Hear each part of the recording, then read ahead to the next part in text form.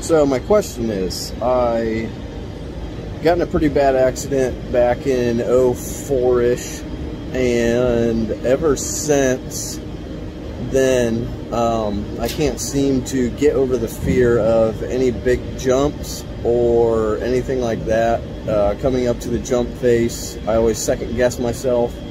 Never had any problems before with any of that kind of stuff. Um, rode for you know years and years and years before that, and now I've just been having the problem ever since then. Like I said, even on a quad, on a bike, no matter what it is, I just can't get over that fear coming up to the jump to even commit. Is there anything I can do, or what is a good way to get this out of my head? Thanks. Good question. Cam or Evan, do you guys have any advice? I can only speak from personal experience of like how I get out of my own head okay. over anything else. Um, I always go and watch other riders and how they're hitting it. You know, listen yeah. to their bikes. You know what maybe if they're hitting it like what gear they might be hitting it in, where they're coming out of a corner to hit it, what part of the jump they're hitting it, just to give a little extra confidence that like that might be the smooth line, that might be the safer place to go um, if I'm gonna jump it. Go look at the landing, see what the landing's like to be able to, you know, if I come up short, what's the scenario? If I go long, what's the scenario? And it gives you a better peace of mind, in my opinion.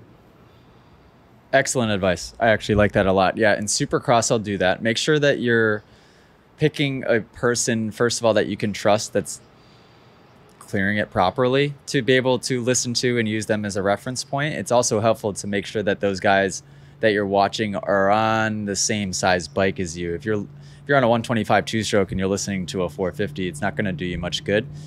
But if you're on a, and matter of fact, Ryan Sipes gave me that advice when I asked if I could do Red Bull Imagination on a 125. He goes, Well, I jumped everything there based on listening to Bereman and everybody else's bike because we were all on 450s. So it'd be very difficult to do that from a 125 to a 450, 250 to a 450. You, you name it. Any bike difference, that makes it a little bit tricky. But it is good to get a reference point.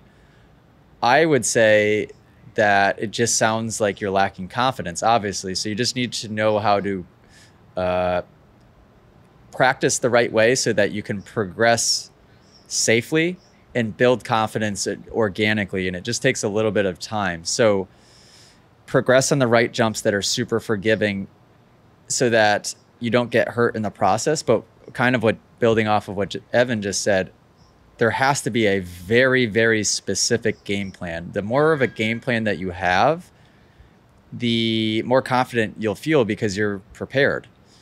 Assess the takeoff. Okay, where am I going to hit it on this takeoff? What line should I avoid on the takeoff and why? Be able to read the jump face, know what the jump face looks like. Obviously, we need to know what gear we're in. So, really assess okay, this thing is third gear, mid throttle.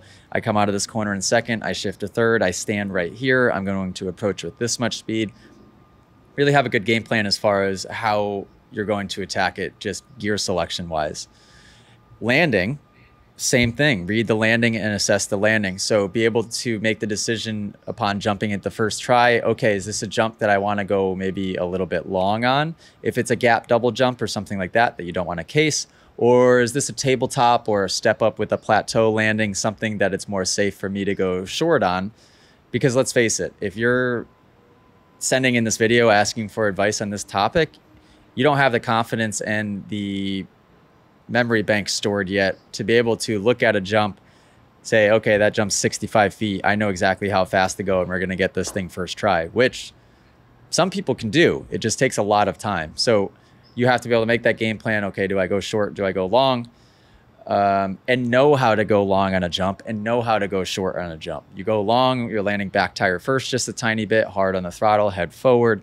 If you're casing, you're landing typically front tire first just a little bit, really keeping strong legs, making sure your knees stay back, landing on the throttle. You always want to land on the throttle. Um, but yeah, you have to you have to just progress in a smart way because so many people, even the class I did yesterday at Sunset Ridge in Illinois, there's a lot of big jumps. And you see people do like the smallest jump on the track and then they get a false sense of confidence. And the next thing you know, they're, they're going for the 100 foot step up. And it's like, whoa, whoa, whoa. There was eight different jumps in the track that you should have done before you got to that big one. Just take your time with it. Don't let other people around you pressure you. Don't feel the pressure just watching your peers and the people that you're around jumping something. Like really go at your own pace and, and take your time. Hey guys, if you enjoyed this clip and you want to watch full episodes of the podcast and send in video questions of your own, head over to club.themotoacademy.com.